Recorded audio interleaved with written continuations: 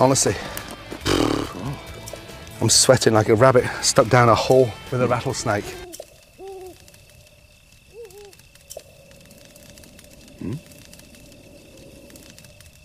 Hmm.